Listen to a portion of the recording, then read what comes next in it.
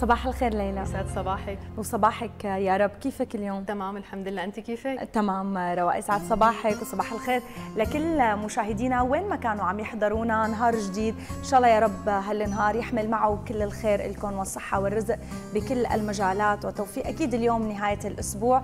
هذا اليوم هيك بنستعد فيه لبكرة ليوم العطلة. بيكون عندنا هيك شوية فعاليات صح؟ شوي هذا الأسبوع درجات الحرارة مرتفعة عن الأسبوع الماضي.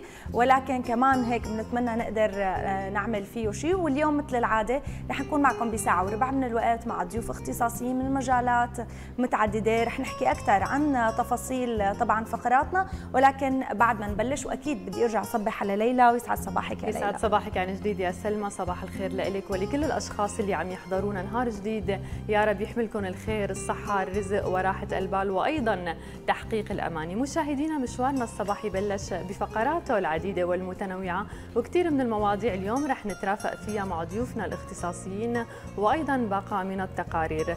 ومحور فقراتنا لليوم رح نحكي عن التهاب المفاصل التنفسي وأيضا رح نحكي عن علاقة النفسية أو النفس بالجسد. يعني اليوم الصحة النفسية قديش بتأثر على الجسد على المشاكل الجسدية. وأيضا رح نحكي عن الديكور وأبرز التصاميم الديكور في الأثاث المنزلي. كل هالمواضيع رح نناقشها اليوم مع ضيوفنا لكن بالبداية رح نصبح عليكم بأغنية ونرجع. ورح نبلش يا ليلى وبعد ما صبحنا على مشاهدينا بهالغنية حنروح لنتعرف سوا على بعض المعلومات الجديدة والغريبة واللي يمكن لأول مرة نتعرف عليها وحطت لنا إياها. طبعا زميلتنا هزار مثل العادة بهل تعلم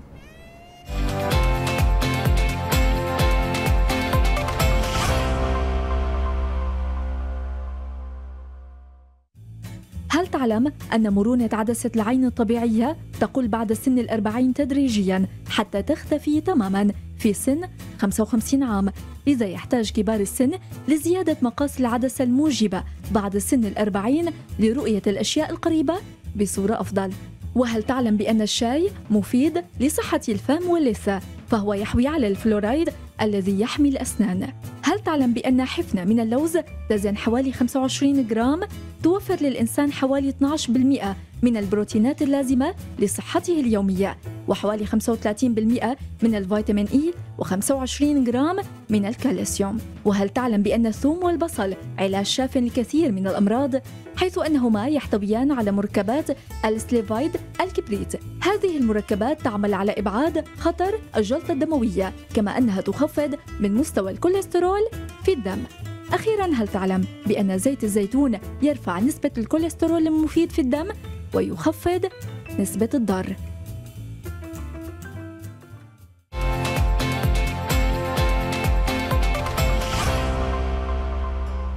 أما هلا سلمى رح نتعرف على فوائد الدراق. كنت عم بسألك تحت الهواء بتحبي الدراق؟ من أطيب الفواكه الصيفية طيبة. هي طيبة بس من أطيب الفواكه الدراق والبطيخ. تماما. وكمان لها كثير فوائد. رح نتعرف على فوائد الدراق اللي هو من الفاكهة الصيفية آه، غنية بمضادات الأكسدة والألياف الغذائية اللي بتساعد على عمليات الهضم وأيضا بتحسن صحة الجهاز الهضمي. رح نتعرف أكثر على فوائد الدراء بهي المادة. الدراق. ينتمي الدراق إلى الفواكه ذات النواة الحجرية أصلها شمال غرب الصين. تعد مصدر غني للألياف ومجموعة من المغذيات المفيدة جدا لصحة الجسم والبشرة. فوائد الدراق.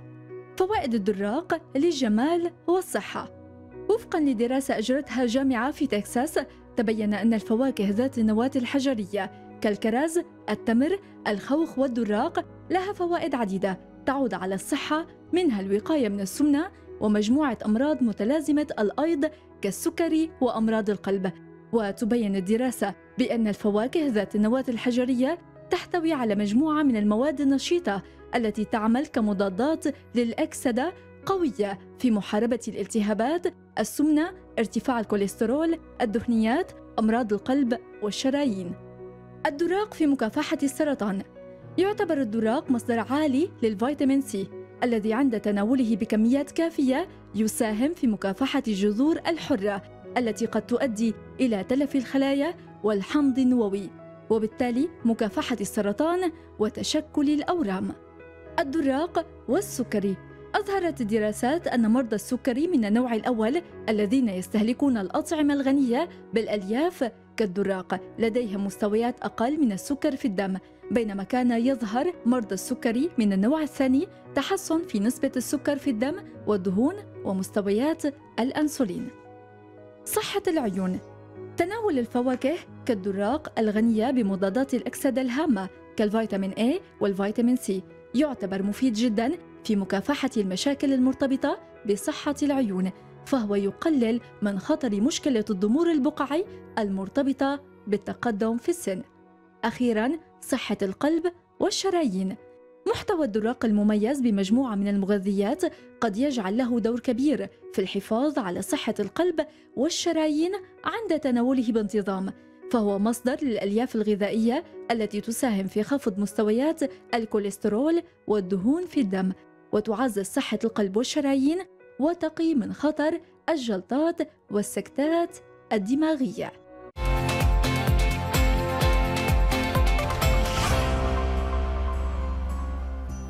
رح نروح لأولى فقراتنا. ليلى وهي الفقرة الطبية ورح نحكي فيها عن التهاب المفاصل التنكسي أو الفصال العظمي ويعتبر من أكثر أنواع طبعا الأمراض شيوعا وهو مرض مزمن يصيب المفاصل نتيجة لتآكل وضعف الغضاريف التي تحمي المفاصل مما يؤدي مع الوقت لاحتكاكها ببعضها البعض.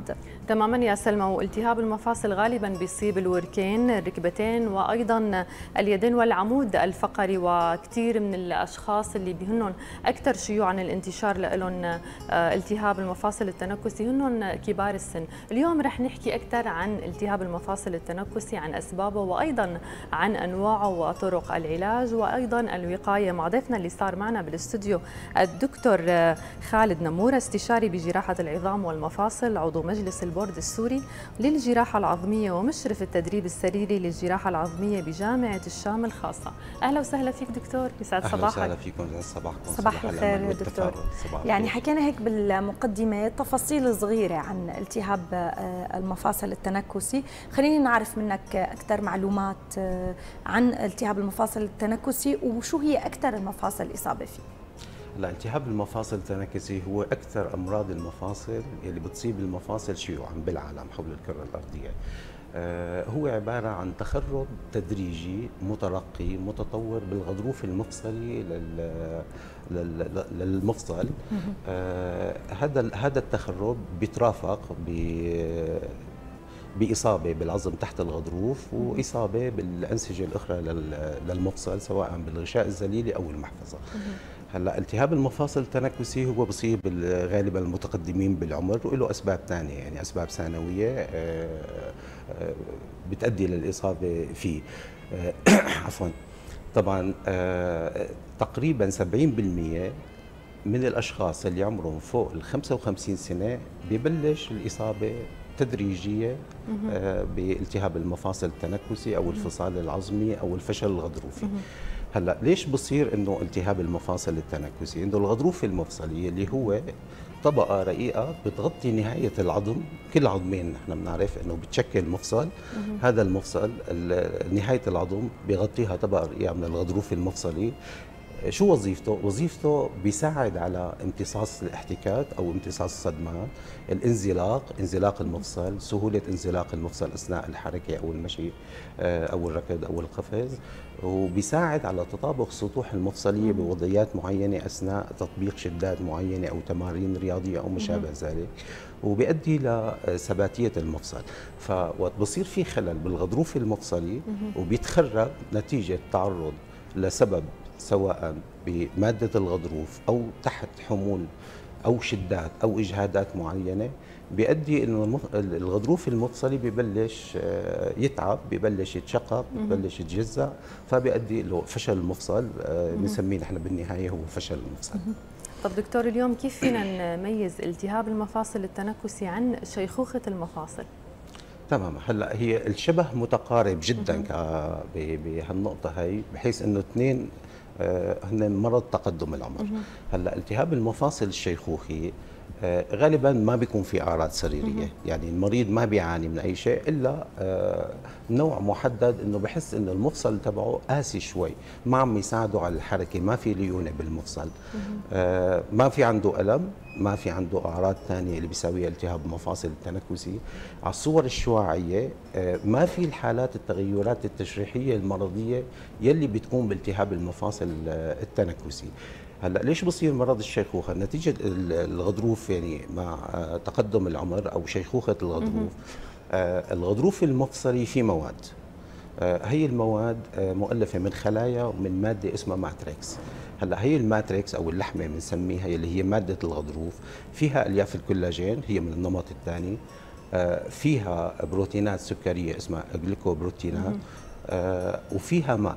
النسبة الكبيرة هي من الماء 80% تقريبا بشكل من الماء الألياف الكولاجين بحدود 10 ل 20% والبروتينات السكرية بتشكل تقريبا من 10 ل 15% آه، أثناء شيخوخة المفصل بصير عندنا آه، نقص بالماء بينما بالتهاب المفاصل التنكسي بصير زيادة في الماء ضمن الغضروف المفصلي. آه، نقص بالبروتينات السكرية بتصير بالحالتين عدد الخلايا تنقص. وقت بصير في تقدم بالعمر أو شيخوخة المفصل بينما عدد الخلايا بالتهاب المفصل التنكسي طبيعي ما, ما بيتغير نهائيا. هلأ بالتهاب بالمفصل أو شيخوخة المفصل بصير عندنا إنه ألياف الكولاجين بتصير قاسية صلبة هي من النمط الثاني المرن الطري ممكن يتعدل للنمط الأول الصلب فبتلاقي إنه بيشعر المريض باليبوسه بيشعر بيفقد مرونة الغضروف المفصلي ولزوجة المفصل نتيجة نشفان الغشاء الزليلي مع تقدم العمر بيؤدي إلى آه، نشفان المفصل أو اللزوجة تبع المفصل اللي بتساعد على الانزلاق بتخف. فهي هي شيخوخة الغضروف المفصلي طب دكتور خالد حضرتك حكيت لنا عن آلية حدوث آه، آه، التهاب المفاصل التنكسي. خلينا نحكي عن الأسباب. هل هناك عوامل معينة هي تمثل عوامل خطورة تؤدي لحدوث هي الالتهابات وهل النساء أكثر من الرجال؟ يعني دائما بنسمع السيدات باعتبار بتمر بحياتها حمل وولادة وما إلى ذلك فبتفقد أكثر من بنيتها. يعني ببنيتها الجسمية والعظمية ممكن تتأثر أكثر من الرجال أو لا هي ممكن يصيب الاثنين بنفس النسبة. تمام. هلا التهاب مفاصل التنكسي له أنماط كثيرة وكل نمط له سببه. هلا آه، في شيء اسمه التهاب مفاصل التخربي السريع. بصير غالبا بمفصل الورك أو مفصل الكتف بنسميه مفصل مايلوكي. عبارة عن تخرب شديد ما في نتوءات آه، أو مناقير عظمية وإنما تخرب شديد للعضو. بيوصل لمرحلة إنه رأس الفخذ أو رأس العضد بذوب بطريقة سريعة جدا. آه، غالبا هذا سببه ترسب بلورات ال apatite ال hydroxyapatite بنسميه التهاب مفصل التخربي في نوع ثاني اسمه التهاب المفصل الضخامي. المفصل مم. ضخم في مناقير عظمية كثير شديدة بتعطيني ضخامة ولكن التغيرات اللي بتصير ضمن الغضروف وضمن العظم قليلة عكس بعضهم تقريبا. الثاني بسببه ترسب آه، بلورات البيروفوسفات. لسبب مجهول أو ممكن اضطراب هرموني معين آه، بالغدد جارات الدرق أو آه، ممكن يكون في استعداد عائلي فيه. هلأ الاسباب الشائعة لموضوع التهاب مفاصل تنكسي نحن بنصنفه لنمطين. إما نمط أولي يعني ما في سبب من دون أي سبب نتيجة تقدم العمر أو نمط ثانوي. النمط الثانوي آه معناتها في عندنا سبب أدى إلى التهاب المفاصل التنفسي هذا السبب قد يصيب الغشاء الزليلي أي نوع من أنواع التهاب المفاصل سواء الرسواني سواء النقرس أو النقرس الكاذب يلي بصيبه الغشاء الزليلي بيؤدي إلى التهاب المفصل وبالتالي هذا الالتهاب بحلل مواد معينة بتخرب الغضروف المفصلي بمراحل متكررة أو ثانية بتؤدي لهالنقطه هي الإنتان نفس الشيء إنه أي إصابة إنتانية بالمفصل بتؤدي إلى آه، في النهاية إذا ما ما تعالجت أو تخرب الغضروف المفصلي بتؤدي لها. هلأ في عندنا أسباب آه، عفوا آه، أسباب ميكانيكية. الأسباب الميكانيكية يعني آه، إنه المفصل عم يحمل جهود وشدات ميكانيكية. في وزن زايد عليه بمنطقة أكثر من منطقة بتؤدي إلى تخرب. ببلش ببؤرة صغيرة وبعدين بينتشر لبقية المفصل. مثلا بالورك عندنا التشوهات الولادية سواء آه، عسر تصنع ولادي بالورك أو خلع ورك أو داء بيرتس أو انزلاق مشاش آه، بالمراحل المتقدمة. يعني والطفل بيكبر شوي وله عقابيل محددة هذا يوم من الأيام سيتعرض لالتهاب مفاصل تنكسي. بالركبة مثلا عندنا آه، روح الركبة أو تقوس الركبة سواء للداخل أو الخارج. تغير محور حمل ثقل الجسم بتؤدي إلى تخرب آه، في حمل زائد على المفصل بجهة أكثر من جهة فبالتالي بيتعرض لشدات معينة وممكن ينصاب فيما بعد بالتهاب مفاصل تنفسي آه، في عندنا الأذية سواء رب أو كسر سواء الرض أو كسر أو إذا في إصابة بالعظم تحت الغضروف اللي هو الداعم للغضروف المفصلي يتعرض لنخرة جافة لأسباب معينة وأسباب كثيره النخره الجافه هي النخله الجافة بتؤدي إلى انهدام السطح المفصلي يعني انكسر السطح المفصلي أو الغضروف المفصلي فمعناتها إنه حيوصل لمرحلة تنكس. هلأ في أسباب متعلقة بالصحة أو بالسمنة زيادة الوزن أو الإجهادات أو التمارين الرياضيه بصير في ضغط على القدمين بصير في ضغط. بصير وزن الزائد وخاصة على مفصل الركبة فهي كلياتها بنسميها ضمن الأسباب الميكانيكية. في أسباب ثانية متعلقة بالوراثة. سواء متعلقة بتشكيل ألياف الكولاجين أو الإصابات اللي بتصيب الألياف الكولاجين بالغضروف المفصلي خاصة النمط اثنين اللي هو المشكل الأساسي للغضروف المفصلي. أو إصابات آه، يعني حالات وراثية متعلقة بالبيولوجيا أو الكيمياء تبع الغضروف المفصلي سواء البروتوجليكينات أو البروتينات السكرية أو عديد السكاكر المخاطية هي أمراض استقلابية ممكن تساوي لنا طيب. هلأ نسبة الإصابة طبعا النساء أكثر من الرجال آه، السبب لوحظ إنه بالإحصائيات اللي عنده التهاب مفاصل تنكسي آه، إنه أغلبية المرضى آه، هن من النساء بعد عمر آه، سن اليأس أو انقطاع الطمس. حتى خلال فترة الطمس بالنسبة للسيدات ممكن يصير التهاب مفاصل تنكسي بالإبهام بقاعدة الإبهام بنسميه التهاب مفاصل تنكسي بخلال فترة انقطاع الطمس أو سن اليأس أو ما بعد سن اليأس.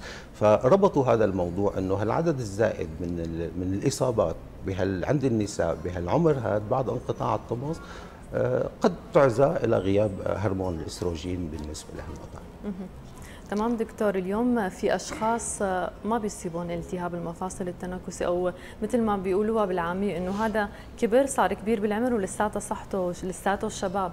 هدول الأشخاص هل اليوم هن نمط غذائهم الصحي من الأساس جيد أو هن ما بيجهدوا حالهم بأعمال أو هن متابعين يمكن بنشاطاتهم الرياضية بالإضافة لمثل ما ذكرت إنه النمط الغذائي؟ تماما. هلأ آه، التهاب مفاصل التنكسي بيرتبط ارتباط جيد بالبنية العظمية لكل شخص سواء بحجم العظم أو آه، بتركيب العظم. فالبنية العظمية أو الغضروفية للمفصل وللعظم تختلف من شخص لشخص. فلذلك في آه، إصابات أو مرضى صغار بالعمر ممكن يتعرضوا لشدات محددة وإجهادات محددة ما آه، ما بيتحمل الغضروف، الغضروف ضعيف شوي نتيجة البنية التركيبية تبعه. بينما في ناس كبار كثير بالعمر رغم يتعرضوا لنفس الجهد ونفس الإجهادات ولكن بيتحملوا هذا الشيء. وبصير عنده التهاب مفاصل تنكس بسن متقدم جدا. فالسبب هي بالبنية الغضروفية آه، أو البنية العظمية للمريض. طيب دكتور أول شيء تفضل شفنا لك ريقك ونحن أسئلتنا كثير الإعلاميين بس يعني بتعرف يعني الناس كلياتها بهذا الوقت تعتبر هي المساحة الطبية ضمن البرامج الصباحية استشارة. بكون عندهم كثير أسئلة واستفسارات فبيحبوا يعرفوا وهي الأمراض صارت شائعة.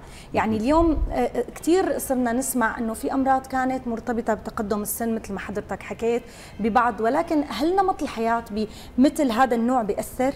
يعني اليوم مثلا آه، آه، سمعنا آه، بعض الأبحاث انعملت إنه مثلا اللي بيشربوا كثير مشروبات غازية طلع المشروبات الغازية لها تأثير كبير على العظم.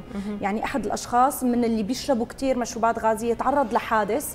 الدكتور قال له إنه أنت بسبب يعني إنه أنت كثير تتناول هي المشروبات صار تاثيرها على العظم عندك أكثر من غير إصابة بسنك وهو شب. فهل هذا الشيء ممكن كمان يكون نقول عوامل الحياة النمط الغذائي ممكن يكون له تأثير؟ هلا بالنسبة للمشروبات الغازية يعني تاثيرها على الغضروف المفصلي حتى الآن ما في أو على العظم بشكل عام يعني مو بس على تمام. على الغضروف المفصلي ما في دراسات أثبتت ذلك يعني من الناحيه العلميه بينما على العظم إلا تاثيراتها بالنسبة خاصة العظم الإسفنجي له تعمل ترقق عظام مزبوط هذا الشيء. تلعب دور بتخلخل العظام أو آه، العظم الصلب آه، بالنسبة للمشروبات. بينما مثلا من ناحية التغذية آه، نقص فيتامين كاف أو سي أو فيتامين د متهم بأنه ممكن يساوي التهاب مفاصل تنكسي بعض الدراسات أكدت إن نقص الفيتامينات الثلاثة هدول آه، ممكن عوامل خطورة لفيما بعد يصاب الشخص بالتهاب مفاصل تنكسي طب دكتور اليوم أكثر الناس عم نلاحظ إنه عندها نقص فيتامين د وعم يعملوا تحاليل أو حتى أحيانا إنه عم صار الكل عم ياخذ هي الأدوية أدوية فيتامين د هي أنت حضرتك عم تذكر إنه هي من أحد الأسباب معناتها اليوم بأعمار صغيرة ممكن إنه الأشخاص ينصابوا بالتهاب المفاصل التنفسيه أه هلأ آه، مو مو بالضرورة يكون سبب رئيسي ولكن من أحد العوامل. قد قد فيما بعد يعني نقص فيتامين د وضعف العظم ممكن يلعب دور بهالموضوع هذا دكتور إبر الزيت يعني بنسمع كثير عن هذا الموضوع وهي العلاجات هل لها دور بالتشافي أو لا؟ حسب مرحلة التهاب مفصل تنكسي التهاب مفصل تنكسي بيمر بمراحل أربعة. أه، بالمرحلة الأولى للمتوسطة ممكن آه، ابر الزيت اللي هي حمض الهيالورونيك أسيد آه، هو وظيفته إنه بيعطي لزوجة للمفصل بيساعد على تزييت المفصل أو تشحيم المفصل يعني. معناته بالنوع اللي فيه آه، اللي كنت عم تحكي عنه اللي بيكون فيه رايح الغضروف هذا بيفيد. لا قبل ما يفقد الغضروف مم. المفصلي مجرد ما فقد الغضروف المفصلي معناتها أنا دخلت بالمراحل الأخيرة اللي هي المرحلة النهائية يلي تخرب نهائيا الغضروف مم. المفصلي مم. بينما بالمراحل الاولى وقت اللي بيكون تشققات الغضروف ضعيفة مم. أو ناشف أو بالنسبة لشيخوخة الغضروف قبل ما ندخل بالتهاب مفصل التنكسي فيما بعد ممكن تفيده آه، أبر هي ال hyaluronic acid. لأنه نحن التهاب المفصل التنكسي مثل ما حكينا بالغشاء الزليلي هو اللي بيفرز حمض ال hyaluronic acid يلي مسؤول عن تزييت المفصل أو تشحيم المفصل من من باللغة الطبية. فوقت بينقص هذا الحمض فمعناتها إنه عملية التزييت المفصل بتكون ضعيفه فبنضطر إنه بنعطي هالحقون هي لحتى تساعد على تزييت لها تأثيرات دكتور جانبية الأبر؟ لا ما لها أي تأثيرات جانبية بالنسبة لها أبر الزيت يعني نهائيا. تمام دكتور أكيد بختام فقرتنا بدنا نتشكرك على المعلومات اللي قدمت لنا إياها معلومات وفيرة وأكيد بدنا نتمنى الصحة والسلامة للجميع وشكرا لك. بقية النهار حلو لك. شكرا لك دكتور شكرا خالد. ورح نروح لنتعرف أكثر على أحوال الطقس.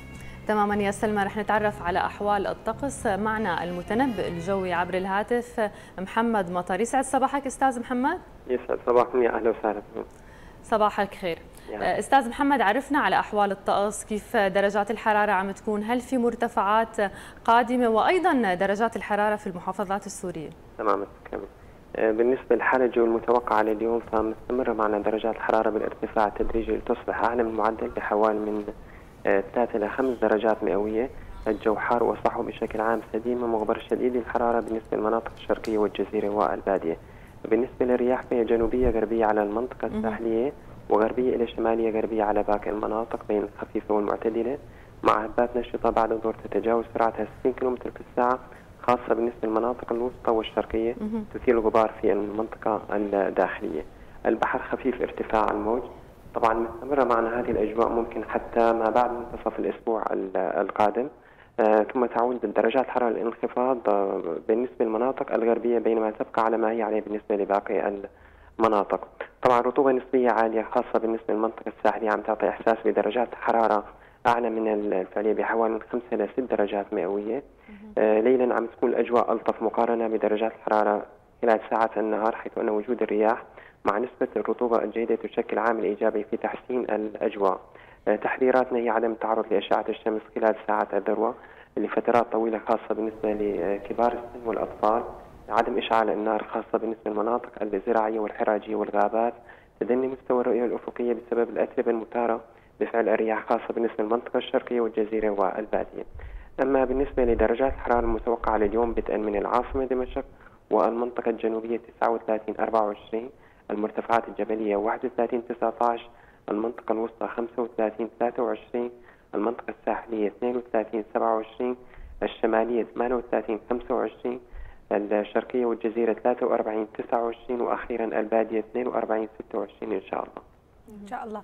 يعني أستاذ محمد طبعا نشكرك على كل هي المعلومات اللي قدمت لنا اياها مثل ما قلت في شوية ارتفاع درجات الحرارة بنتمنى السلامة والصحة للجميع وينتبهوا على نفسهم من درجات الحرارة المرتفعة. شكرا لك أستاذ.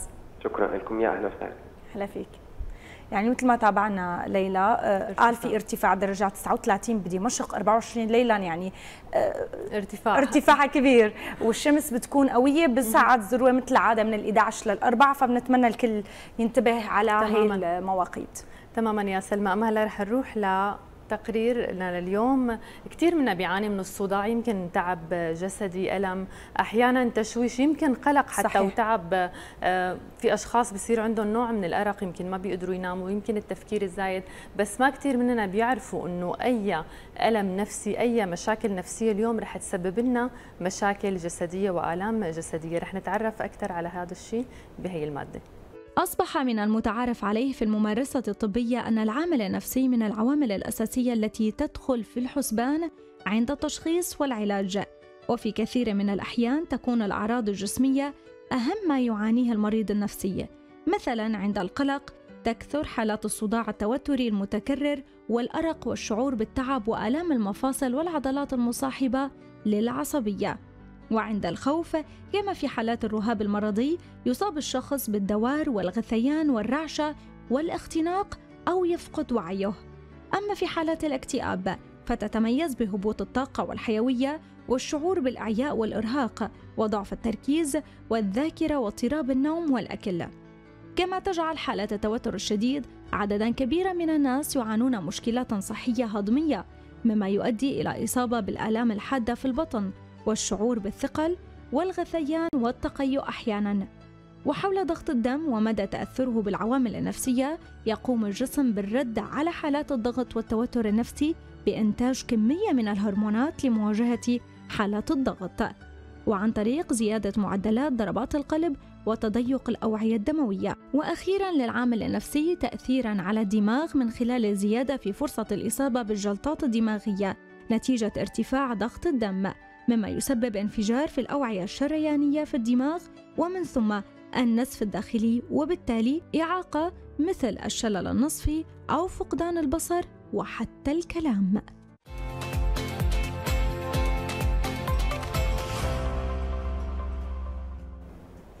رح نروح هلأ لفقرتنا والصحة النفسية، كثير أوقات بنسمع آه، ليلى إنه نحن عم نتصرف من تلقاء نفسنا، ولكن للحقيقة علماء النفس ربطوا بعض تصرفاتنا بطبعا علاقتنا تجاه أصدقائنا أو المقربين منا، وهذا الشيء بيأثر علينا بشكل غير مباشر، أوقات كثير نحن ما بندرك إنه نحن بناخذ بعض السلوكيات أو ردات الفعل بناء على هي العلاقة مع الشخص اللي نحن بانينا، إمتى بيكون هي ردات الفعل طبيعية وايمت بتصير غير مرغوب فيها ولازم ننتبه على تأثير علاقات الأشخاص الآخرين بسلوكياتنا؟ تماما يا سلمى وخاصة في مرحلة الشباب اليوم تتبلور شخصيتنا بتتوضح المسارات لأنه بتصير وجهات نظرنا مختلفة. يمكن بنصير أكثر عرضة للتأثر بالبيئة السلبية لكن اليوم ايمت فينا نحن نستثمر هذا الشيء؟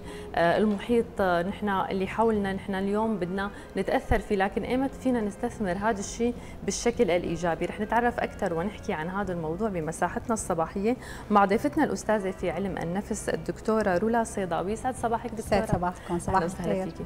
صباح الخير دكتورة صباح الخير. خلينا نبلش. اليوم موضوع مهم كثير ويمكن ما كثير الناس تتطرق بالحديث.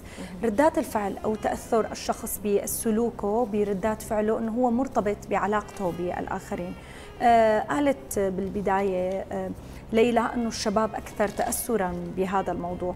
هل فعلا الشباب هن أكثر تأثرا أم كلياتنا ممكن تكون ردات فعلنا لها علاقة بعلاقتنا بالأشخاص؟ بداية هو طبعا الموضوع جدا مهم والعنوان كمان آه، لازم نضيء عليه. آه، هلأ التأثر هو بيكون يبدأ من فترة المراهقة حتى فترة الشباب. السبب في عدة أسباب. هلا إذا كان هو خلينا نقول تقليد أو الأخذ من عادات الطرف الثاني سواء صديق أو قريب أو يعني شخص مقرب ممكن تكون إيجابية وممكن تكون سلبية. من باب المحبة أحيانا من باب الإعجاب تماما الإعجاب بالمظهر العام. من باب أحيانا بيكون مثلا السلوكيات الإيجابية.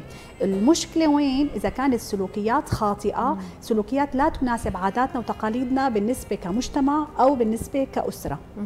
اليوم كمان دكتورة دور التأثير الكبير لجيل الشباب هو ال social media. اليوم كثير عم يتأثروا يمكن بأشخاص على السوشيال ميديا. نظرة الشباب اليوم لجوهر الشيء في مسار حياتهم. خلينا نحكي كيف ممكن نطوع هذا الشيء بشكل إيجابي.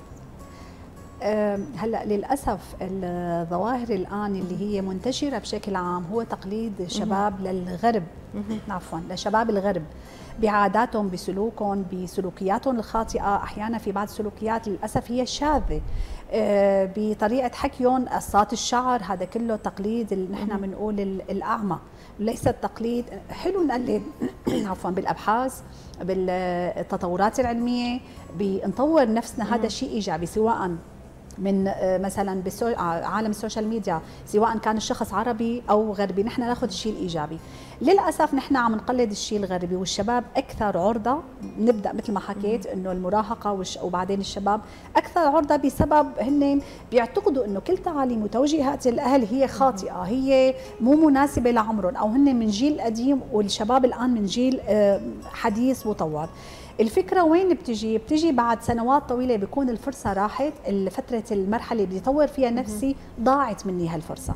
فلذلك نحن هون لما بنقول إنه بدنا نطوعها مثل ما ذكرت الأستاذة ليلى إنه نطوعها بشكل إيجابي. كيف؟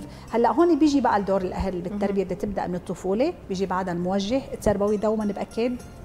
المعلمين أحيانا آه، شخص مقرب آه، ممكن صديقي هو فعلا بيريد الخير لصديقه شخص مقرب من العائلة أو من المعارف أو من الجيران أو ممكن أستاذ كان سابقا يعطيه هو لسه على علاقة معه هون بيعطيه بقى الشيء الإيجابي. هلأ هون بيبدأ التقليد بالشيء الإيجابي بياخذ من أستاذه من صديقه اللي عنده إيجابيات ببلش بيتعلم منه شيئا فشيئا. نعطي مثال الطالب إذا متعلق بأستاذه بصير بقلده بحركاته بسلوكياته وحتى بطريقة حكيه. والعكس صحيح. إذا كان هو آه، مثلا آه، صديق كان غير إيجابي بقلده كمان بحركاته سلوكياته حتى بنمط آه، لباسه. طب دكتورة رولا حكيتي عن فكرة كثير مهمة اليوم. ال social media مرتبطة فينا وكمان أصدقائنا مثل ما حكينا واللي هو محورنا الأساسي اليوم. نحن عم نقول قديش بنتأثر بالأشخاص اللي هن محيطين فينا. أحيانا بعض الأصدقاء بيكون لهم تأثير أكبر من الأهل على على الشباب وخصوصا بمرحلة المراهقة أو حتى ببداية الجامعة. صرنا نشوفهم هلأ بينبسطوا بيلبسوا مثل بعض بينزلوا صور بي يعني بيشاركوا شغلات هن بيشتركوا فيها. لأي درجة أنا ممكن أشوف هذا الشيء وأسمح فيه؟ واحاول إني أنا أعمل رقابة بحيث إنه ما يدوب الشخص بشخص آخر. إنه أوكي ممكن يكون أنت ورفيقك نفس الشيء تشبهوا بعض تلبسوا مثل بعض كذا بس مو لدرجة تلغي شخصيتك أو هويتك تماما. بناء لتكون أنت مثل صديقك أو العكس يعني. تمام. الجهة الأخرى. آه هلأ في نقطة أنا لما آه أنا كأم أو أنا كأب أو أنا كموجه معلم معلمة لما بعزز له ثقته بنفسه لما يكون الشخص عنده ثقة بنفسه آه، ما حقول لك تامة شبه تامة أو ثقة فيها نوع من الإيجابية. فأنا هون بحب الشخص الثاني بحب شوف نمط كلامه ولبسه لكن مو 100% ليش؟ لأنه أنا عندي شخصيتي المستقلة وأنا طبيعة الإنسان رب العالمين خلق الناس كلياتها لتعارفوا كل واحد له خصوصيات وعنده مهارات وعنده قدرات وعنده شخصيه عنده تميز بشخصيته وعنده آه، تفرد بشخصيته. أنا لما بدي أكون نسخة آه، خلينا نقول فوتوكوبي من هذا الشخص أو من فلانة صديقتي معناتها أنا وين شخصيتي؟ وين تميزي آه، أنا للأسف المشكلة هلا عم نشوفها أكبر يعني ما ما قصة بس شباب هلا عم نشوف ناس بالعمل ناس بالمحيط صاروا عم بيكونوا copy paste تماما. واحيانا نسخ مشوهة يعني ما عم ينجحوا يكونوا هلا هون بيكون في خلل معلش بالتربية. خلل إنه أنا عندي مثلا بعد خلينا نقول فترة المراهقة أو قبل شوي الطفولة نهاية مرحلة الطفولة بيكون في خلل إنه هو عنده شيء ناقصه. وللأسف بيجي دور الأهل إنه أنت هاي الأمور ناقصتك كثير هلا هو الشيء الفاقده بيروح بيبحث عنه بصديق بزميل بالعمل بقلده. تماما تماما. بقلده بفكر إنه إنه هذا هو الشيء الصح. حتى بنلاحظ شباب كثير مو بس بكثير دول بيقلدوا مثلا الغرب بقصات شعره بنمط لباسهم. هلا نحن عندنا هون للأسف بيكونوا إنه مثلا هذا هذا اللي عم يقلد الغرب يعني غير مقبول بمجتمعنا. هلا كل مجتمع له عاداته وتقاليده بنحترمها لكن نحن مو مناسبنا. يعني أنا ما بقول إنه فلان خطأ. أنا بالنسبة لي عادات مجتمعي قبل الأسرة عادات صحيح. مجتمعي وتقاليد مجتمعي أنا بدي راعيها. وهي لها مكانه ومقدسه ما بصير أنا أقلد الغرب وبدي أفرض على أسرتي وواقعي إنه أنا هيك بدك تقبلوني. أنا بدي أعيش يعني أنا مثلا مسافر لدولة بشوف لباسي بكون مثل هالدولة اللي رايح لها ما هو هون هون فن أو بروتوكول التواصل الاجتماعي والتواصل بين البلدان. تمام. مثل ما ذكرت سلمى إنه أحيانا التقليد حتى ضمن إطار العمل. حضرتك عم تذكري هذا الشيء من الطفولة حتى يمكن مرحلة المراهقة اللي هي الأهم. اليوم الأهل دائما بيحبوا يشوفوا ابنهم ناجح لكن لازم يوجهوه يمكن بالطريقة الصحيحة إنه أنت ما لازم تكون مثل فلان. تمام. إنه لازم تشتغل لحتى تصير إنه شخص ناجح. لما هو بجوز يفهم هي التعليمات خطأ أو نصائح الأهل خطأ إنه أنا بدي أروح أقلد هذا الشخص صير نسخة عنه. مو إنه أنا صير ناجح أو أشتغل على حالي أو صير شخص ناجح. قديش هذا الشيء مهم نفرق بين هدول الشغلتين المقارنة دوما هي هدامة. حتى بعض الأمهات أو بعض الآباء بيقارنوا الأخ الأكبر الأخ الأصغر بالأخ الأكبر. أو ابن الخالة أو تماما. الأخ الأكبر دائما. هو شاطر مجتهد. مثلا فات الفرع اللي علاماته عاليه الثاني عنده مواهب ثانية وعنده يعني آه، قدرات ثانية. ما بصير بصير له بدك تكون نسخة عن أخوك الكبير أو مثل ما ذكرتي قرايبك. هون بصير هو بيقلد بعدين بيجي لمرحلة الرفض. نرجع لبداية الكلام هو دوافع السلوك يعني ما وراء السلوك. دوافع السلوك أحيانا بتكون إيجابية أو أحيانا بتكون سلبية. فهو لا شعوريا بالعقل الباطني عنده بيرجع بيقول إنه أنا آه، بده يصير يقلد فلان حتى يثبت نفسه.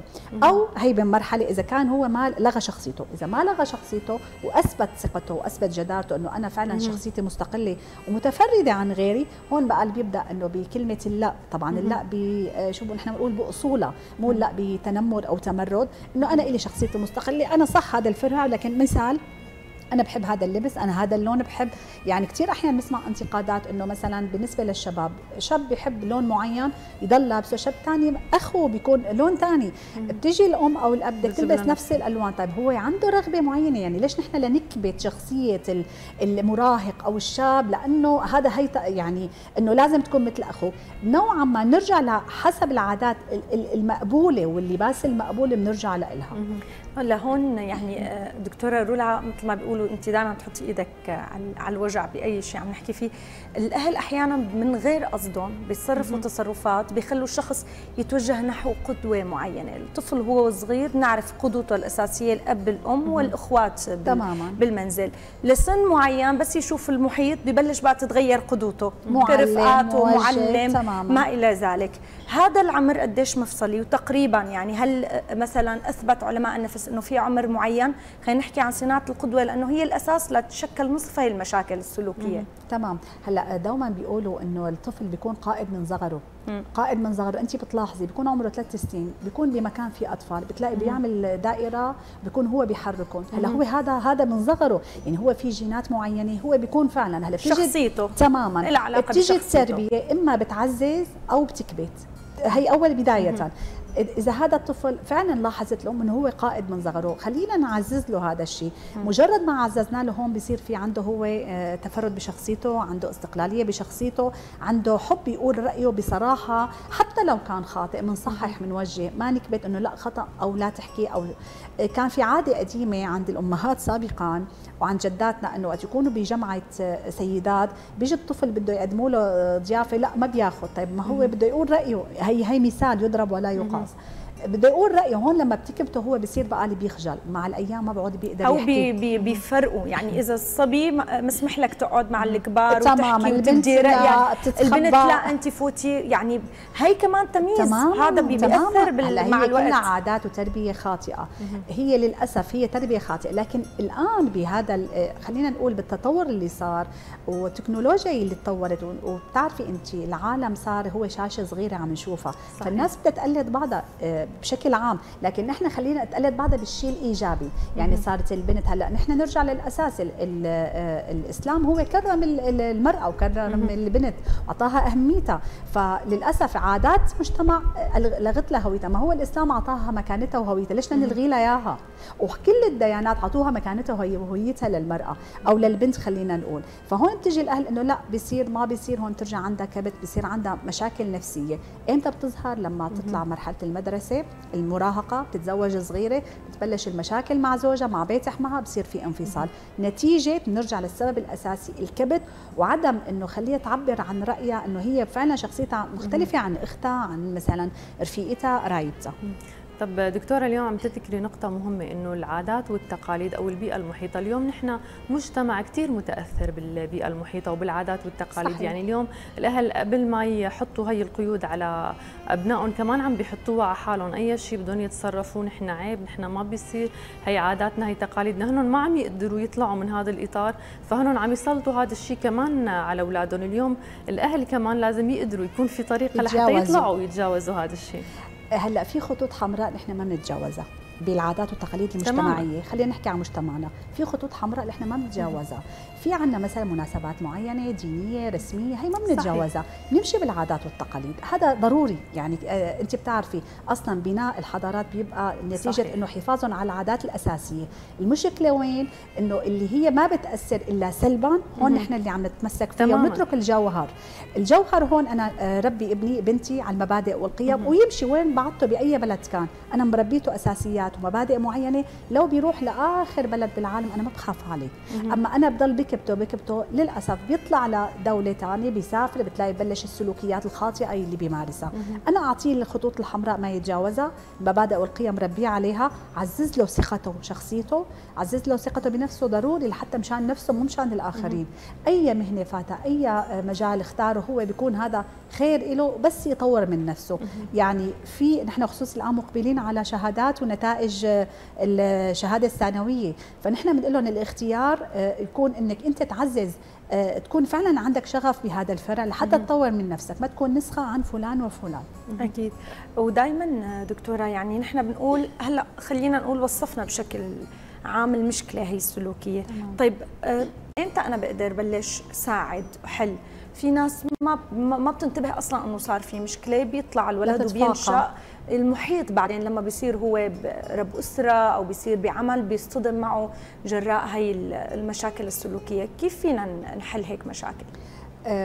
نحن ذكرنا نقطة إنه الآن نحن في عصر تكنولوجيا. مم. هلأ المفروض من فترة آخر فترة الطفولة يعني خلينا نقول بال من تسع سنوات أو هيك تقريبا ببلش بتلاحظ الأم والأم مقربة أكثر للطفل. آه إنه في سلوكيات خاطئة شاذة مو صحيحة. هلأ نتيجة إنه أنا مهملة له نتيجة هو آه انفصال الوالدين. أي نتيجة أي سبب كان. هون بدي أنا أتابع في متابعة بين الأهل وبين ال- آه، المعلم وبين الموجه. آه، أنا دوما أسأله لابني ما اكبته إذا قال الرأي لو كان خاطئ ولو كان مثلا أحيانا طفل بيكون بجمعة أهل بيقول كلمة فبيجوا الأهل بيخانقوه بعد ما يقول بعد ما يروحوا له ضيوف أو المعارف إنه ما بصير هيك تحكي. طب هلأ أنا ممكن وجهه لكن ما أكبته إنه ما بصير بقوم هو ببطل يحكي. الاكتشاف يا مو إنه وقت يصير يتزوج وصار عنده أسرة لأ بيكون المشاكل بتصير قبل فترة المراهقة. بدأ بسن 13 14 بصير بيبتعد عن البيت بصير بي بي بنرجع لبداية كلامنا. بيقلد رفاق رفاق السوق لا سمح الله بيبعد عنهم بيصير سلوكيات شاذة بيترك المدرسة إلى آخره بصير بمشاكل نحن بغنى عنها. فهي هون بتبلش نحن من بدايتها.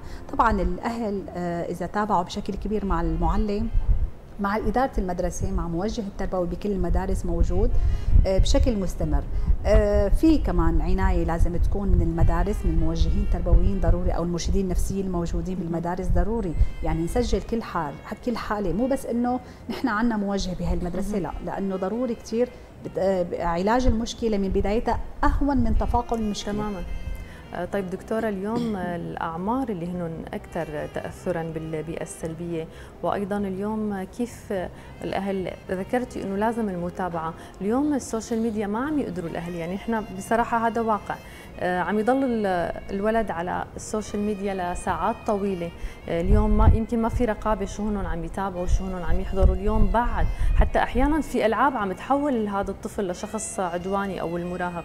اليوم كيف فيهم أو طرق يقدروا يبعدوا أطفالهم عن هذا الشيء؟ بدهم يشغلوهم بالشيء المفيد. يعني معلش إنه هذا خلينا نقول المراهق أو الطفل أو لما يكون طول وقته آه، ليل نهار ما عنده قيمة للعمل لشغله لدراسته لجلسته مع أهله مع والده أو والدته مع إخواته معارفه وما عم نأكد من الأم والأب إنه لازم تكون معنا فهو هون بده يستمر أكيد وبده يفوت بمنحى نحن بغنى عنه. صار بعالم ثاني تماما. آه، ببداية المراهقة ببلش التقليد. يعني بالطفولة ما رح يكون هالتقليد إلا يكون نوعا ما مثل ما يعني المراهقة الأكثر بداية ونطلع. فدوما نشغله. في عنا كثير برامج محاضرات. ما حنقول محاضرات بعد الشباب ما بيحبوا يتابعوا. خلينا نقول تعلم لغات هذا كله بالنسبة للموبايل. أنا ما عم بقول طلع لبرا. آه، رياضة مشي هذا كله بيخليه شوي يخفف هذا الاستريس آه، هلا هو ليش بيتابع الشاب؟ ما عنده شيء مفيد يشغل نفسه فيه، يعني دوما الإنسان أنت بتلاحظي اللي عنده وقته مليان بتلاقي ما عنده وقت أصلا للموبايل ويفتح مواقع التواصل إلا ما ندر، لكن بتكون عنده فراغ والفراغ معروف مفسدة للمرء. فنحن هون بدنا نكون هل هالنقطة ننتبه لها كوالدين أو ك آه، إذا أخي كبير بالنسبة لأخوه الأصغر ضروري ضروري كثير كمان. طيب يعني بعد ما تعرفنا على كثير من النقاط دكتورة رولا خلينا هيك ناخذ نصائح عامة اليوم للأهل كيفية التعامل مع سواء الطفل وخصوصا مثل ما قلنا كثير من هي السلوكيات الخاطئة عم تتشكل من عمر مبكر من دون ما نعرف. يعني ما بعرف إذا هو صحيح أو لا بس بعض الدراسات النفسية قريت عنها أنه هي ربطت استخدام الأهل بالثواب والعقاب بهذا الشيء أنه مع الوقت بيأثر. أنه عملت على هذا السلوك منيح فهو رح يكمل معه ويتطور معه. عملت غلط رح يكمل معه أيضا الخطأ. أحيانا العقاب بيكون بدرجة قاسية. بعض الأهالي بيعطوا فكرة للثواب والعقاب إنه بيربطوها فقط للأسف يعني بالعقاب الشديد من الله سبحانه وتعالى. يعني بيكون طفل صغير إذا عمل خلص أنت الله زعل منك. يعني ما بيقعد بيرعبوه هي بداية عم نحكي. آه، في نقطة ثانية هو إهمال الوالدين للطفل. آه، تركه مقارنته أنه هو غير ناجح هو فاشل هو ما عنده اهتمام بنفسه ما عنده اهتمام بعلمه. لذلك هذا بيخليه يبتعد عن العالم ثاني هو بشكله بيصنعه بنفسه سواء أصدقاء سواء سوشيال ميديا سواء أنه آه، انفصال عن عن الواقع الحقيقي. هون بيصير بيبدأ بتقليد الغير للأسف لكن التقليد السيء أو السلوكيات الغير مرغوبه أكيد دكتورة بختام فقرتنا بدنا نتشكر حضورك معنا ونتمنى لك بقية نهار كثير حلو. شكرا لكم شكرا لك. شكرا لك دكتورة. شكرا مفعين. أما هلأ رح نروح مثل العادة متعودين هيك نزور أماكن سياحية جميلة ببلدنا. حنروح لأحد القلاع المحفوره المحفورة بالصخر والمطلة على الوديان بمنطقة القدموس بطرطوس قلعة الكهف وتفاصيل أوفى بالتقرير التالي. قلعة الكهف تقع في محافظة طرطوس وهي من القلاع الأثرية المهمة وتبعد عن القدموس نحو 20 كيلومترا كما تبعد عن قرية الشيخ بدر مسافة 15 كيلومترا من الجهة الشمالية. وتتربع القلعة على هضبة صخرية مطلة على واد سحيق تحيط به الجبال فتغدو شبيهة بالحسن الطبيعي ويلاحظ زوار القلعة مباشرة أنه تم اختيار موقعها بعناية فائقة لكونه من المواقع المحصنة طبيعياً والأكثر وعورة والذي يساعد في صد هجوم الغزاة. وتزداد أهمية موقعها إضافة لكونه من المواقع الحصينة بأنه يمنح القلعة ميزة السيطرة على بقية القلاع المجاورة لوقوعها على تلة مرتفعة وفي منطقة متوسطة وعلى أبعاد متساوية تقريباً أو متناظرة وكانت ترتبط معها بواسطة الشهب النارية. تعد قلعة الكهف من القلاع النادرة التي بنيت ونحتت في الصخر ولذلك سميت قلعة الكهف. ومن الآثار الباقية في القلعة جامع القلعة الذي يوجد على سطح القلعة قرب الساحة التدريبية من الجهة الشرقية ولم يتبقى منه الكثير. فهناك قاعة مسقوفة بقناطر متهدمة وهناك أيضا الدرج الذي يتجه نزولا باتجاه الساحة وقد سدت اتجاهاته وتهدم معظمه وتقول المصادر التاريخية إن هذا الدرج يقود إلى الكهف وفيها آبار لتخزين المياه كما كانت تصلها المياه بقناة فخارية من عين ماء تبعد عن القلعة مسافة 2 كيلومترا. ويجهل الكثيرون أهمية قلعة الكهف فهي عبارة عن كتلة صخرية مفرغة تماما من الداخل تحوي ثلاثة طوابق من الكهوف الحجرية اكتشف بداخلها بقايا معبدين يعتقد أنهما رومانيان لكن النباتات والأحراش تغطيهما بشكل كبير جداً.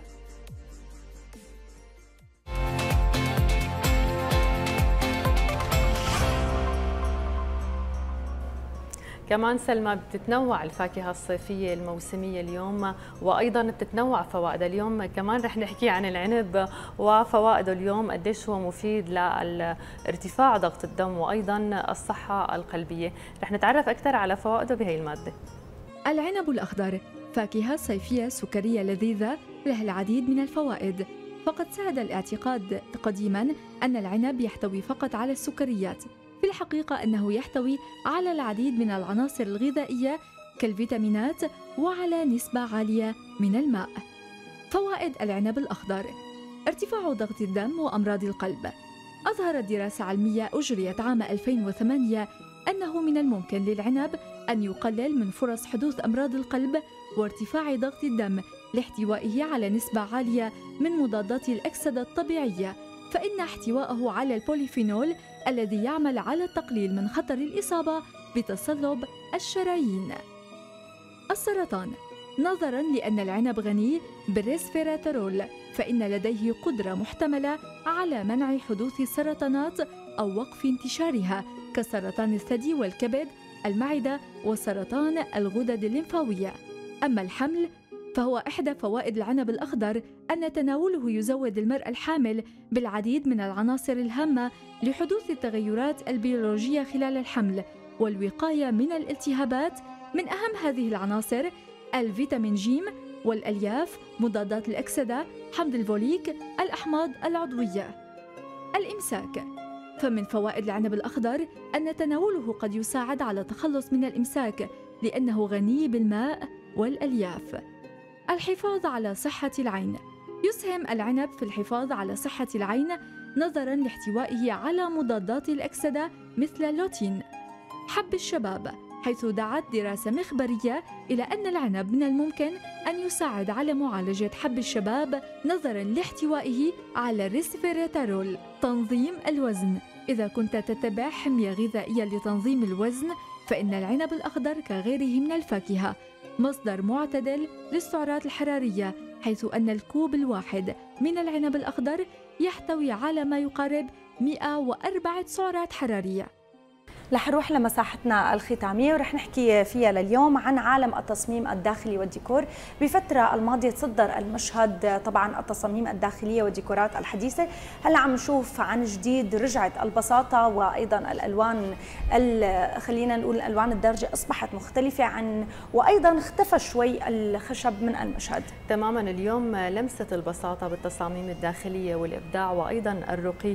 جعل المعدن يحتل دائما الصدارة. لكن اليوم ايمت فينا نستخدم المعدن بالتصاميم الداخلية وضمن الديكور الداخلي وأيضا في الإثاث المنزلي. وهل هو فعلا الأكثر تحملا؟ وكيف فينا نستخدمه؟ كثير أسئلة رح يجاوبنا عليها ضيفنا اللي صار معنا بالاستوديو مهندس الديكور نوار الحموي. يسعد صباحك أستاذ نوار. صباحكم شكرا لك. أهلا وسهلا صباح الخير أهلا وسهلا فيك. كيفك سلمى؟ تمام الحمد لله. خلينا نبلش مع حضرتك طبعا. اليوم عم نشوف عودة المعدن من جديد ليتصدر مشهد الديكورات الداخلية. نعم. خلينا نتعرف أكثر شو ليش رجع؟ يعني نحن بنعرف مرقت فترة ابتعدوا راحوا على الحجر راحوا على الخشب. آه، أول شيء شكرا لكم. ال- السبب إنه خطوط المودرن فرضت إنه الخطوط البسيطة تكون موجودة. آه، المعدن أسهل شيء الشغل فيه بال- بالخطوط الأفقية. الأفقية واللي فيها شوية أنحناء. لهيك اجى المعدن بصلابته بال... وبعدين هو صار ترند يعني بتغطيسه بالذهب باللون الأسود تبعه اللون ال... ال... ال- الرمادي الأبيض. والناس الميالة للنمط المودرن صارت بعيدة عن الحفر بعيدة عن الكابيتوني بعيدة عن التنجيد بعيدة عن هالقصص.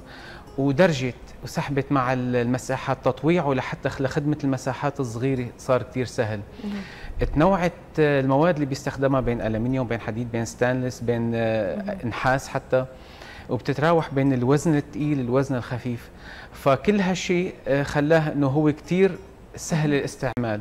أي حدا في يعمله أي حداد في يعمل لنا ال- table الطاولات الكراسي البسيطة اللي هي عبارة عن خطوط مستقيمة. ما بدها حفر ما بدها انحناء ما بدها شيء بكفي تعملي قالب معدني شوي يكون خطوطه بسيطة ومتناسقة ونسبه حلوة ينبخ بشكل آه، quality مرتبة لحتى يعطيكي هالنمط ال modern. يعني الخطوط البسيطة مثل هلأ نحن عندنا هون بالاستوديو في ورانا آه، المعدن ومدخله شوية خشب طالع حلو لأنه بخ ونظيف المودرن صار ما بقى ما يطلب من ال- من البيوت يكون فيها حفر يكون فيها كتير شغل صعب. فلهيك اجى المعدن آه، تمام. بهذا الصعب. أشياء بسيطة. طب اليوم المعادن الأكثر استخداما أو اللي هي فينا نقول ترند اليوم والمطلوبة أكثر بالتصاميم الداخلية؟ نعم. ال- النحاس رح أقول لك كل واحد وشو ال- الميزة والسيئة تبعته. النحاس وزنه ثقيل كلفته غالي كتير بس هو من أحلى المعادن اللي بتعطي. شغل حلو مرتب الحديد بيتراوح سماكاته بين المقاطع اللي هي بيستخدمها وكمان آه، فينا نحدد الوزن تبعه. وكمان آه، مطواع لكل الألوان. يعني أنا الحديد الحلو فيه إني أنا فيني بخه بكل الألوان وبيتغطس بمغطس حراري بحيث أنا طالع منه الذهبي اللميع مثل المراية بيطلع. وفي عندنا كمان ال- الستانلس. آه، هدول أكثر شيء وفي الألمنيوم. الألمنيوم أخف شيء أخف وزن. آه، بس مطواعيه الحديد أكثر و- وأمكن لهيك العالم تستخدمه. طيب وحضرتك عم تحكي عم نشوف بعض الصور من التصاميم الداخلية. اللي عم تعتمد يعني قطع معينة انتبهتي بال- كيف الخطوط كلها بسيطة. خطوط بسيطة. خلينا نحكي كمان اليوم على آه، آه، يعني مثل ما بيقولوا هو معدن صلب ومطواع ولكن بنفس الوقت في ناس بتخاف من التقل. فهل هو يعني عم بيكون عم بيتقل الديكور أو لا بالعكس أنا مو- كوزن كوزن طبعاً. تماما مم. يعني الخشب البعض منه كان يعتبره إنه هو مادة خفيفة صح. بسيطة آه ومثل ما بيقولوا تنجيدها وتغييرها صح. أسهل من صح. المعدن هل هذا الشيء بينطبق هلأ أو لا نحن عم نستخدمه بطريقة معينة حتى ممكن ينعاد إعادة آه، استخدامه أو آه، فينا نغير. من شكله أو شيء لا يعني لا استغناء عن الخشب. لا استغناء عن الخشب بالنهاية.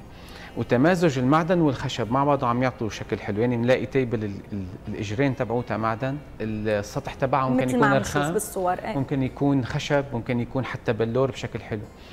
آه الوزن الثقيل هو لأنه أرخص مادة لاستخدام المعدن هي الحديد. مم. الحديد وزنه ثقيل والنحاس غالي كتير كمان وزنه ثقيل وغير متوفر يعني. فلهيك نحن بنخاف من الوزن. لأنه ال- ال- اللي أكثر شيء عم نستخدمه هو الحديد والحديد وزنه ثقيل آه بس آه عم يعملوا له مقاطع كثير تكون رقيقة ما سميكه كثير بحيث يتغلبوا على هالموضوع هذا أما إذا بدي أعمل نفس المقطع الحديد نحاس أو بدي يصير وزنه كثير ثقيل ما فيها ست البيت تشيل الطاولة أو تشيل أي شغلة آه لحتى تستخدمها. بس أنا برجع بكرر لا غنى عن الخشب. تمازجه مع المعدن عم يعطي كثير شغل يعطي حلو. جمالية. بس إذا إذا كان مشغول بحرفية وبإشراف مهندسين. تمام.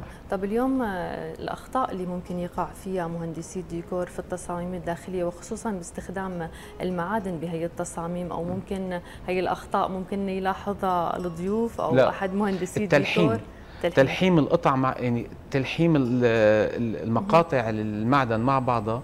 هي أكثر مشكلة ممكن تفضح الشغل المانو مرتب لهيك بس يمر بمرحلة الحف. يعني أنا بدي إلحم قطعتين مع بعضهم.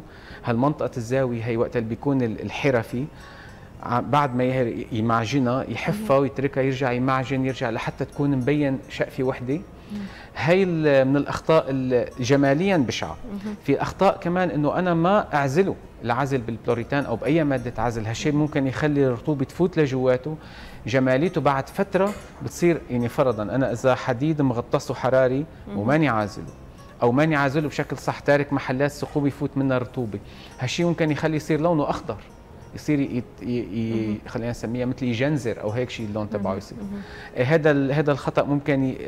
يخلينا نضطر نرجع نكحته نرجع نبعته ليتغطس يرجع ينبخ. فهذه المشكلة. إذا نحن مضطرين نستخدم العازل قبل ما نبخ البخ النهائي لأنه العازل هو الأساس. هي تقنيا. جماليا الحف والتماجن مكان الالتقاء هو اللي بيخلي المقاطع تبين حلو وبتظهر. يعني حضرتك يعني جاوبت كمان على تفصيله كنت رح أسأل عنها اللي هي عوامل الرطوبة والتاثير مع طبعا. الزمن. طيب خلينا نروح لشيء ثاني اليوم أكثر الاستخدامات حاليا اللي عم بنشوفها للمعادن ضمن الديكور. يعني هل هي عم تكون بالإكسسوارات مثلا؟ أنا رح أقول لك أم بشيء معين؟ ايمت أكثر شيء برزت المعادن كماده ديكور للخارجي. يعني بالشاليهات مثلا أو بالمصايف. لأنه الخشب مهما صار ومهما عزلته إلا ما يتأثر الرطوبة. أما المعدن أكيد. عزله أسهل تاثره بعوامل الرطوبة والشتي والرياح والقصص هدول أخف بكثير ومهما تأثر ما بيفقد جماليته اما الخشب ممكن ينفش ممكن يقشر صحيح. ممكن يصير عليه أي شيء. إذا نحن بلش استخدامه للمعدن كمادة خارجية.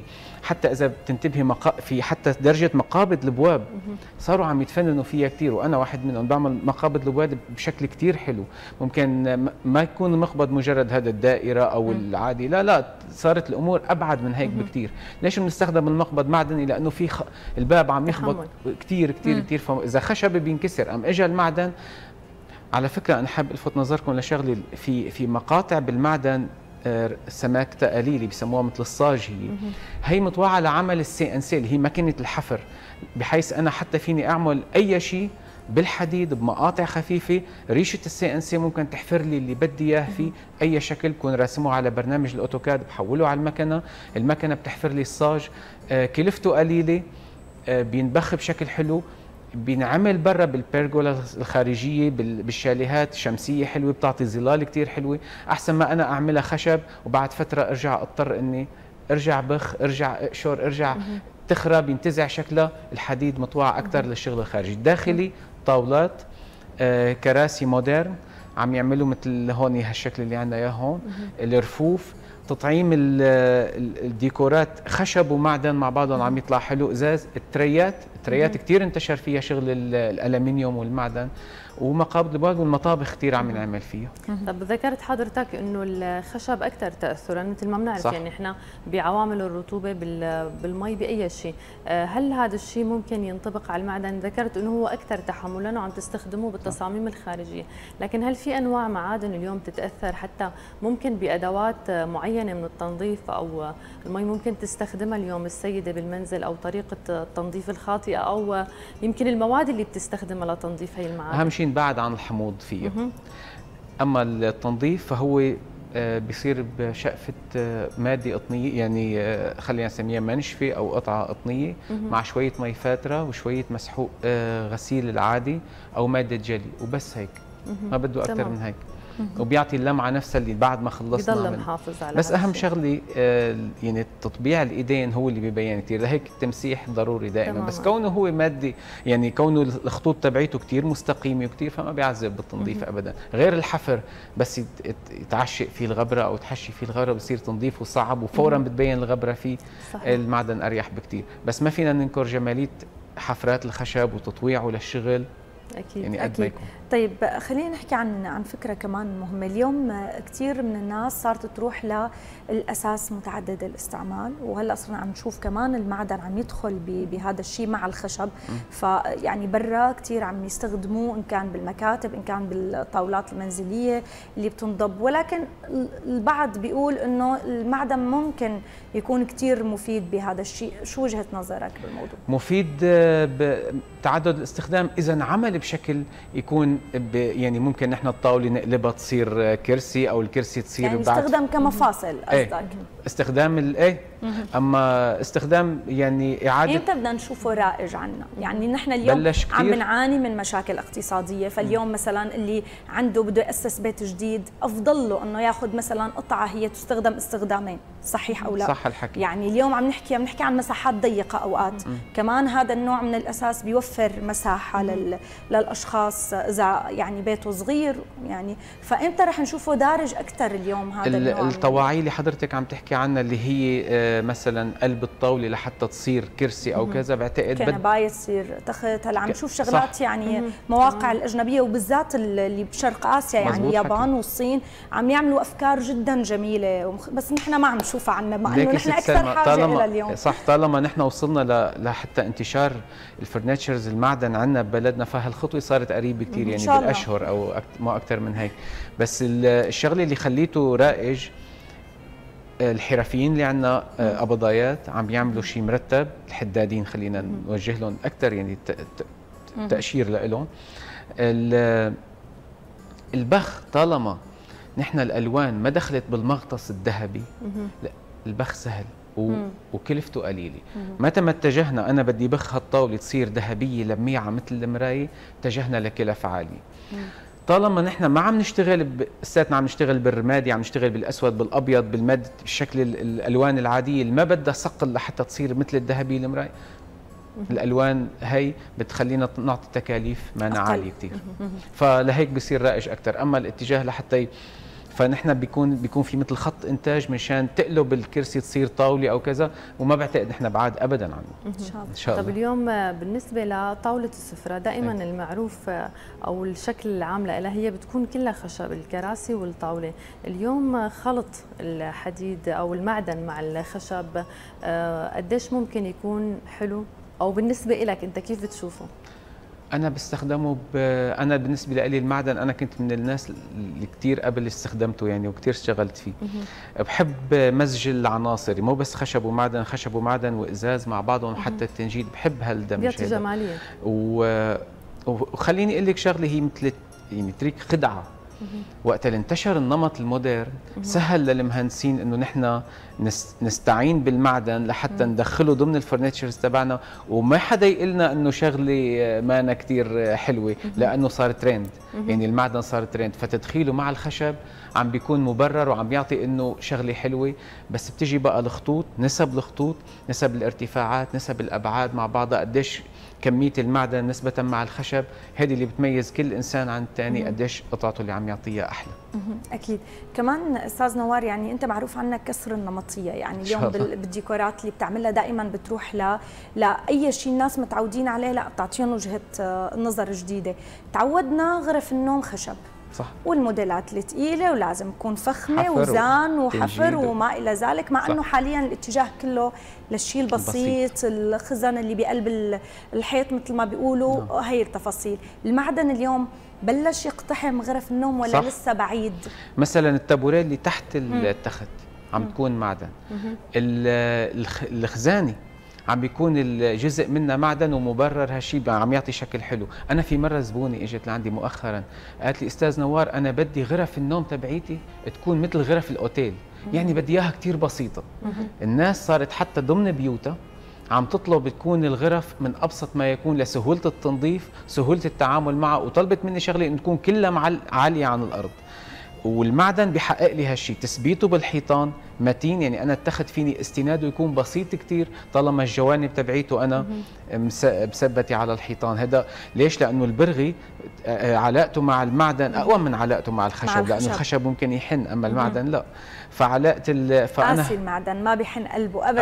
ابدا يعني جواته القصة خلقت الله يعني ف آه، لا آه، بقوة. بس مع آه، مع تتبيع الألوان مع بقية العناصر الموجودة بالغرفه الخشب أو التنجيد أو هالشيء يعني نحن بدنا ندخل المعدن بالغرف بلا ما يبين فج بلا ما يبين رخيص بلا ما يبين إنه هو برا الجو كله. لهيك اللمسات بدها تكون مدروسة شوي. آه، طب آه، بالنسبة للألوان ذكرت حضرتك الألوان. اليوم كيف بتختار الألوان؟ هل اليوم في أشخاص انهم بيحبوا هذا اللون المعين؟ ممكن وجهة نظرك أنت تشوف ديكور المنزل أو ألوان الحيطان ما بتتناسب مع هذا الشيء اللي هنا الدنيا.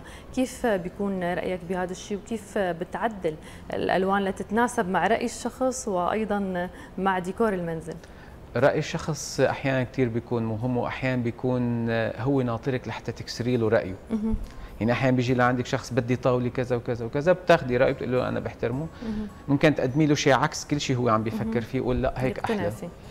الألوان طالما نحن المعدن عندنا صار ممكن ينبخ بكل الألوان أنا الخيارات قدامي مفتوحه يعني بتبعه للتنجيد بتبعه لورق الجدران بتبعه لل...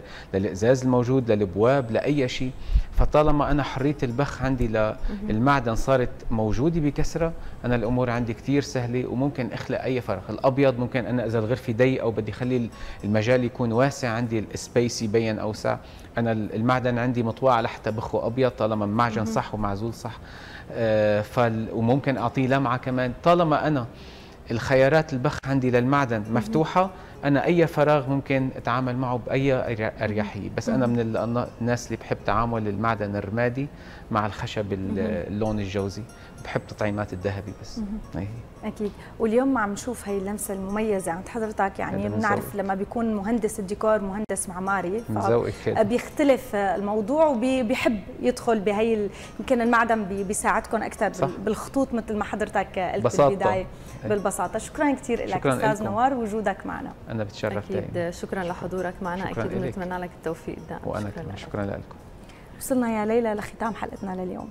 تماما وصلنا على ختام حلقتنا لليوم. أكيد بدي اتشكرك يا سلمى واتشكر كل الكادر الفني اللي كان مرافقنا بالكنترول وأيضا بالأستوديو وكل الأشخاص اللي عم يحضرونا. بتمنى لكم بقية نهار حلو مثل ما بتحبوا. أكيد بدي نوه على شغله اليوم. نحن على موعد مع امتحانات أو نتائج الامتحانات الشهادات الإعدادية اليوم. كثير من الشائعات اللي عم نسمعها على وسائل التواصل الاجتماعي اليوم عم تعمل توتر وقلق للأهل. وأيضا امبارح وزارة التربية نوهت عبر صفحتها إنه ما في أي شيء من الشائعات اللي عم تسمعوها أو عم بتشوفوها على وسائل التواصل الاجتماعي. ورح يتم الإعلان عن النتائج قبل 48 ساعة. أكيد نحن بنتمنى التوفيق لكل الطلاب وما في داعي للقلق والتوتر. وأكيد من الأهل اليوم قد ما فيكم خففوا عن حالكم وعن أولادكم. اليوم النتيجة اللي هن رح ياخذوها نتيجة تعبهم أكيد قدر الله يعني اليوم كل حدا سلمى أكيد. بيحصد نتيجة تعبه أو هي قدرته وطاقته. ولساتها هي مرحلة ليست. مرحلة فاصلة. كثير عم نشوف هي مرحلة جزئية يعني عم اليوم يضغطوا على يمكن هن معهم حق بس عم يوتروا حالهم وعم يوتروا الطالب. حتى هي المرحلة كثير صعبة بالنسبة لهم وخصوصا مثل ما عم لك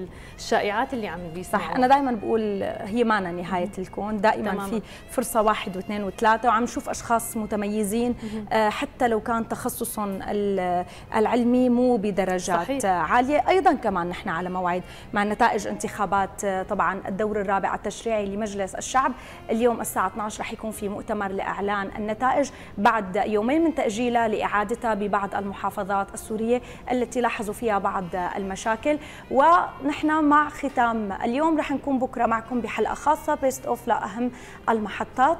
وبالنهاية رح أخذ من أحد ضيوفنا جملة مهمة اليوم ما تكون عم بتقلد حدا. كون أنت نفسك أنت البصمة الخاصة بنفسك لأنه بالنهاية بصمتك هي هويتك اللي رح تبقى معك وأكيد ما في حدا بيقدر يكون طبق الأصل عن شخص ثاني ضلوا بألف خير. باي باي.